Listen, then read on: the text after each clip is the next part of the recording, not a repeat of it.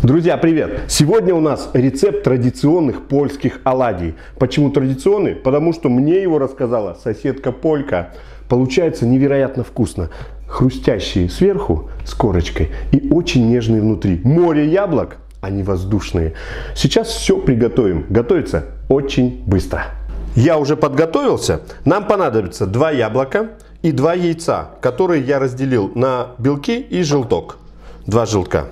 Еще нам понадобится 2 чайные ложки разрыхлителя, чай, э, столовая ложка ванильного сахара и 2 столовые ложки обычного сахара. Яблоки натираем на крупной терке. Муки берем 2 стакана, это где-то 260 граммов, и стакан молока. Отправляем белки в чашку. Сюда небольшая щепотка соли и взбиваем до пышной пены. Вот такие белковые пики у нас получаются. Отлично, их пока в сторонку. Берем чашку побольше. И здесь, друзья, растираем желтки со всем сахаром. Добавляем и ванильный, и обычный.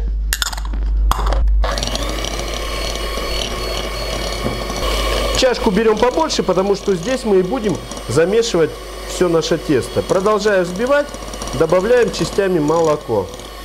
Остается только добавить муку и разрыхлитель. Я муку буду вводить тоже частями. Часть муки, весь разрыхлитель, чтобы он разошелся и перемешался.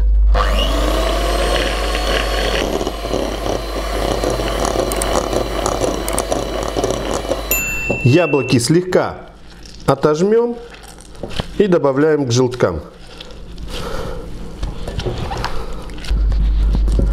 Остается только добавить белки. Яблоки ввели и тесто получило вот нужную консистенцию. Теперь аккуратно складывающимися движениями перемешиваем белок.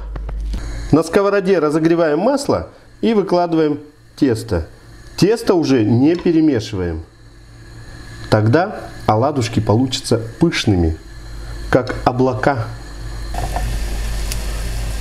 очень быстро поджаривается, смотрите, аккуратно.